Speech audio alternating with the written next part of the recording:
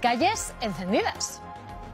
Sí, porque parece que a Milei poco le importa lo que está pasando en Argentina, que ya lo hemos visto durante estas semanas, muchísimos jubilados, muchísimos pensionistas saliendo a las calles. Es más, se concentraron frente al Congreso Nacional, como llevan haciendo todas las semanas para quejarse por su situación socioeconómica. Sin embargo, según él, los hechos le avalan. Dice Milei que si él no fuera presidente de Argentina, habría un 95% de indigentes. Dice que el país sería como Venezuela. Escuche estaban dadas todas las características para tener la peor crisis de la historia y Argentina se hubiera convertido en Venezuela y hubiéramos tenido la cantidad de pobres en, en términos más o menos del 95%, 50% de indigentes.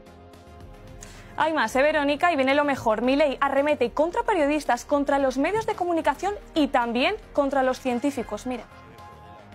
Que mande una ley ¿sí? donde los periodistas sean personas políticamente expuestas. Que, presenten declaración jurada, que les puedan que puedan ser sometidos al escarnio público que los periodistas someten al resto de la sociedad. Los supuestos científicos e intelectuales que creen tener una titulación académica los vuelve seres superiores y por ende todos debemos subsidiarles la vocación. Bueno, ya lo hemos escuchado, Verónica, mi ley contra ¿eh? la ciencia da miedo contra la ciencia, contra, la cultura, que esto ya es, pues Verónica, un auténtico clásico. Gracias, Paula. Pues nos vamos de quien piensa.